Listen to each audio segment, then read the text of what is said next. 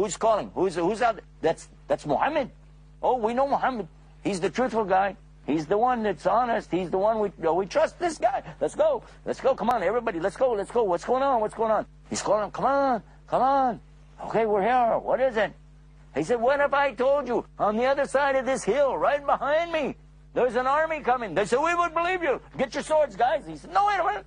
But you believe, oh, we believe you. We believe anything you say. You are the Sadiq. You're the telling the truth. We're with you. Go ahead. What is it? What's the news? He said, La ilaha illallah. There's only one God worthy to be worshipped. Allah. La sharika Allah, which means, and he has no partners. Wa ana rasulihi.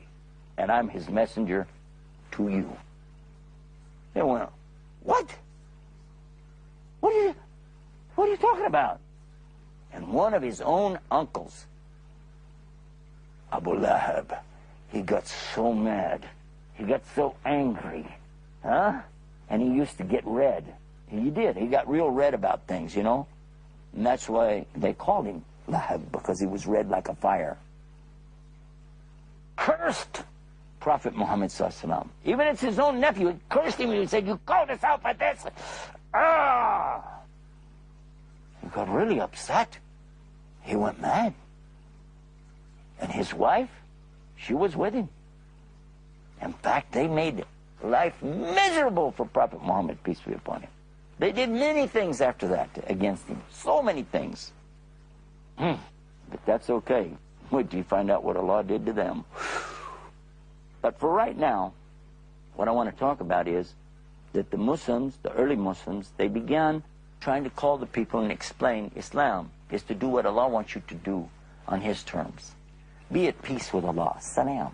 Do what He wants you to do. Taslim. Just surrender. Just give in to Allah. Do His way. Don't do your way. Don't be mean. Don't be bad. Don't lie. Don't steal. Tell the truth. Be generous. Help other people. These are the messages that come with all the prophets. But don't do it to show for the people.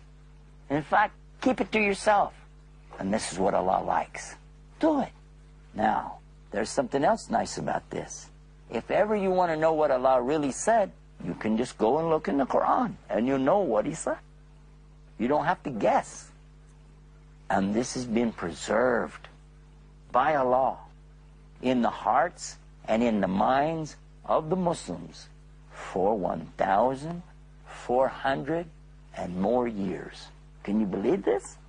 And when people heard it, they repeated it and passed it to the next generation. Just like you're learning it right now from some teachers, yes? And didn't they learn it from some teachers? And they learned it from teachers. They started with teachers who heard it, from teachers who heard it, from teachers who heard it, all the way back to the people that heard it from Prophet Muhammad sallallahu alaihi wasallam, and he heard it from Jibril alayhi salam, and he got it from Allah. So that's why we say it's the actual kalimatullah, the actual speech of Allah, the Quran.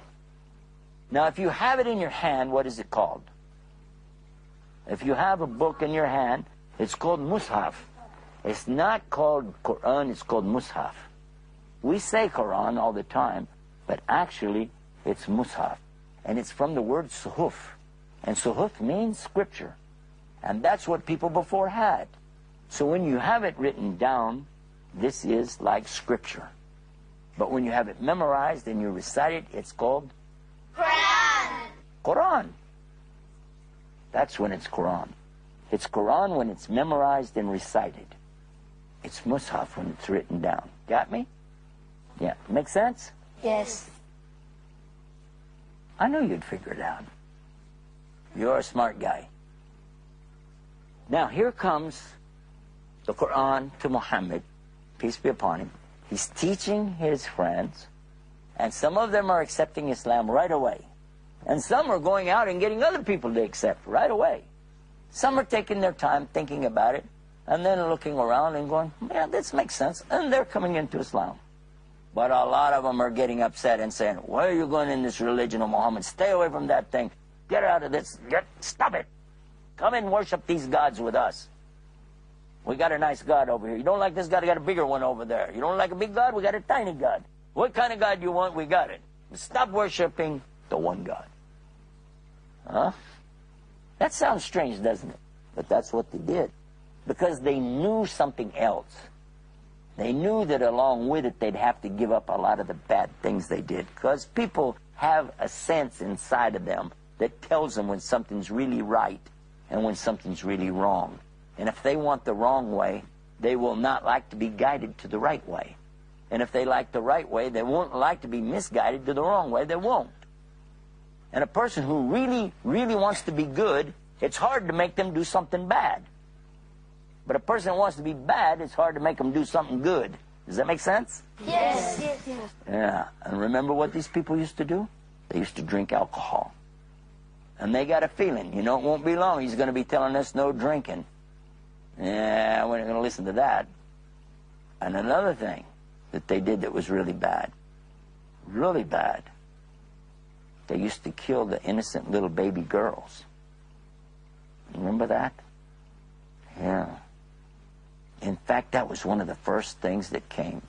When the orders really started coming from Allah saying, don't do this, don't do that, when those kind of orders came, that is when the people really started getting uptight.